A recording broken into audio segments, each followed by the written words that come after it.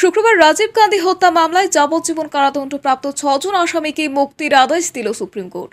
বিচারপতি B R Gavai এবং বিচারপতি বি ভি নাগারাত্নের বেঞ্চ বলেছে, এই আবেদনকারীদের মুক্ত করার জন্য নির্দেশ দেওয়া হল।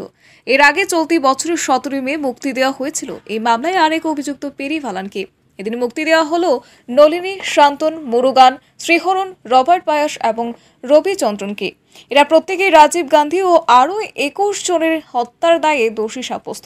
ফলে রাজীব হত্যা মামলার সকল আসামি মুক্তি পেয়ে গেলেন। আদালত জানিয়েছে পেরিওয়ালানকে যে কারণে মুক্তি দেওয়া হয়েছিল, সে একই কারণে মুক্তি দেওয়া হয়েছে বাকি ছজনকে। পেরিভালানের ক্ষেত্রে শীর্ষ আদালত বলেছিল, তার ক্ষমার আবেদনের বিষয়ে সিদ্ধান্ত নিতে রাজ্যপাল অনেক বিলম্ব করেছেন। তাই সংবিধানের অনুচ্ছেদ একশো বিয়াল্লিশের আওতায় পাওয়া বিশেষ ক্ষমতার ব্যবহার করেছিল আদালত। অনুচ্ছেদ একশো বিয়াল্লিশে বলা হয়েছে বিচারাধীন কোনো মামলার ক্ষেত্রে ন্যায় বিচার করার জন্য সুপ্রিম কোর্ট তার এখতিয়ার প্রয়োগ করে প্রয়োজনীয় আদেশ দিতে পারে। তামিলনাড়ু সরকারের পক্ষ থেকেও তার মুক্তির সুপারিশ করেছিল বলে জানিয়েছিল আদালত। আদালত আরও জানিয়েছে, আসামিদের প্রত্যেকেরই তিন দশকের বেশি সময় কারাগারে কাটিয়েছেন।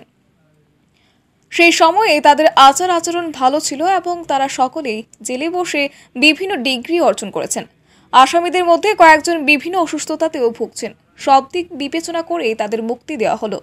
উনিশশো আটানব্বই সালে রাজীব গান্ধী হত্যা মামলায় এই ছজন আবেদনকারী সহ মোট ছাব্বিশ জনকে মৃত্যুদণ্ড দিয়েছিল টাডা আদালত।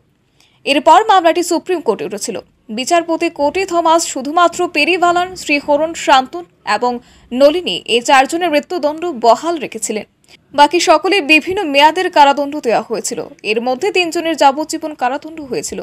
দু হাজার সালে তামিলনাড়ু সরকার নলিনীর মৃত্যুদণ্ডের মুকুব করেছিল।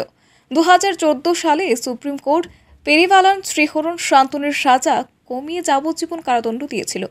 উনিশশো একানব্বই সালের একুশে মে তামিলনাড়ুর শ্রী পেরুম্বুদুর এ এক নির্বাচনী প্রচার সভায় আত্মঘাতী বোমা মামলায় নিহত হয়েছিলেন ভারতের প্রাক্তন প্রধানমন্ত্রী Rajib Gandhi.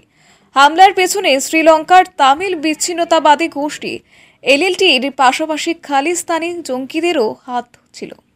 Bureau report, R E news.